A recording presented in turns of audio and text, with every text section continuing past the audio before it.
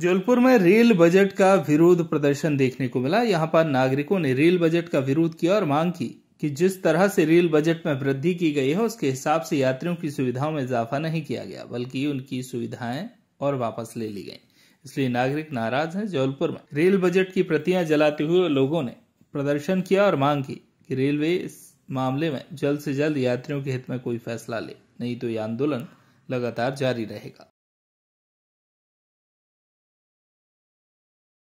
केंद्र सरकार ने रेलवे बजट प्रस्तुत किया है और उस रेलवे बजट में लगभग एक 1.7 लाख करोड़ का इजाफा किया है।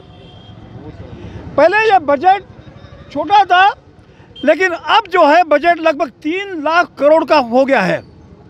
इसके बावजूद भी जो वरिष्ठ नागरिकों की जो रियायतें थी इन रियायतों को उन्होंने वापस नहीं लिया और इनको अब इन नागरिकों के साथ बड़ा अन्याय किया है।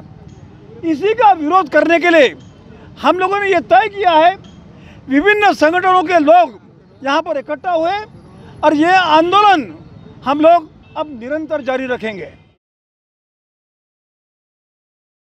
जबलपुर से आशीष बात्रे की रिपोर्ट।